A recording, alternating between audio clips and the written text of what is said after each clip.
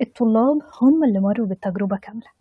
اختاروا التخصص حضروا المحاضرات وال tutorials وال labs ذاكروا عملوا ال assignments وال researches وال projects وتعاملوا مع الدكاترة والمعيدين. لغاية ما وصلوا لخط النهاية نهاية ماراثون الجامعة. علشان كده يوم مشروع تخرجهم طلبنا منهم يقولوا رسالة لزمايلهم الأصغر منهم عن التخصص بتاعهم. وفي اليوم ده سألناهم ثلاث أسئلة.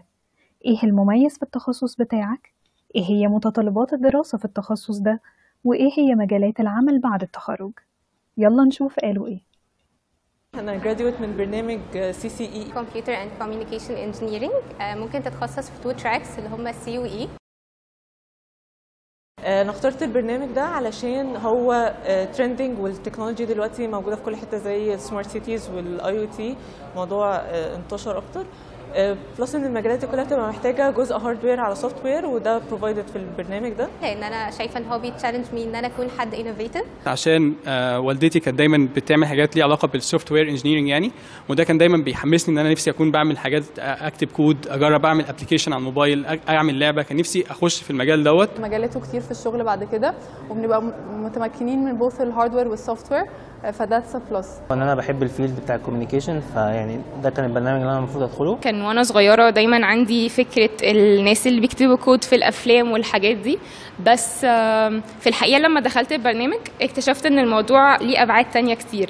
simply أنت عندنا هنا في ال- يعني في الكلية يعني بتخرج مهندس شاطر جدا وال field نفسه بيبقى عايز ال ال النوع ده. وحتى مصر في الفترة الأخيرة في يعني ناس كتير قوي داخلة بتحط فلوس في ال field وفي يعني كذا شركة already حتى من قبل ما خلص تعليم بتبعت لنا حتى بال يعني بالاسم إن هم عايزيننا.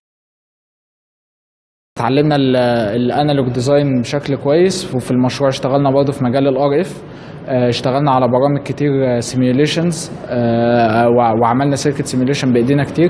آه، اشتغلنا في معامل عملنا تجارب كتيرة و projects كتيرة يعني مختلفة في مختلف المواد. اتعلمنا على برامج كتير جدا في الكلية. أنا عن نفسي في track ال analog ال analog design و layout في ال electronics آه، عملنا في ال GP analog layout automation واتعلمنا على برامج كتير. اشتغلنا على circuit simulations ودخلنا labs كتير واشتغلنا بإيدينا في في الحياة في ال circuits يعني. آه، من الحاجات التانية اللي موجودة في القسم وليها ميزة عن أي قسم تاني هنا القسم hybrid يعني إيه hybrid؟ أنت بتاخد مواد من قسم اللي هو computer engineering بتاخد مواد زي ال computer architecture مفيدة جدا هتفيدك وال programming techniques وال object oriented programming كل ده حاجات هتفيدك جدا في حياتك. أنت هتدرس ال basic بتاع كل المجالات ديت وهيبقى عندك فرصة شغل آه، كتيرة جدا. أنت قبل ما بيت... قبل ما بتتخرج مثلا بسنة هتلاقي إن كذا شركة بدأت تكلمك بتحاول تقول لك آه، يعني تعالى اشتغل عندنا وكده. عندنا problem solving techniques وبرضه نبقى نقدر نشتغل under stress بس ده هيخليك ت stand out عشان تدخل ال major دوت محتاج تبقى حد بتحب ال math وال circuits وتكون عندك problem solving skills إن هم يكون عندهم patience و problem solving وكمان يكون يعني عندهم work under stress يبقى حد إن هو hard worker يبقى عنده هدف يعني ما يبقاش داخل وخلاص عشان يقدر يكمل. آه، لو fast learner ده برضه هيساعده.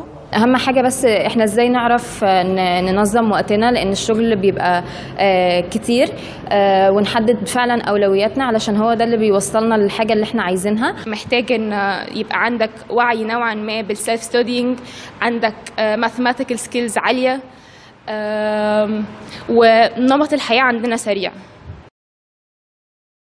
مجالات العمل في القسم هي عندنا مجال ال communications مجال ال electronics مجال ال control ومجال مجال ال waves مجالات العمل كتيرة زي مثلا ال digital وال analog design وبرضه مثلا ممكن يشتغل في ال machine learning وال IoT في ال IoT عامة. المجالات ممكن الواحد يبقى tech support engineer software engineer ممكن يبقى آم، مهندس اتصالات في شركة اتصالات زي فودافون واتصالات. ممكن يبقى شغال infrastructure engineer DevOps كل المجالات مفتوحة الحقيقة بسبب البرنامج. ممكن نشتغل في حاجات ليها علاقة ب electronics شركات ال communication أو embedded systems كمان في آه، جزء networks ممكن في الاي أو سي أو في ال embedded systems أو في ال analog وال digital designs وفي control في ال electronics أكبر مجالين تشتغل فيهم هم ال electronics وال communication والتراكين دول مع بعض بتقدر تشتغل فيهم في حاجات تانية. فمثلا ال electronics تشتغل analog design digital design analog layout digital layout في ال communication تشتغل مثلا في شركات الاتصالات تشتغل في ال computer networks برضو تندرج تحت ال communication ال control برضو موجود في ال communication وموجود في ال electronics ده برضو track ما بينهم. وفي ال embedded system برضو بيستخدم برضو ال communication وال electronics وفي نوع جديد أو اتجاه جديد طالع اليومين دول موجود في العالم وابتدى يخش مصر وهو ال IoT وال smart smart homes وال smart village عامة.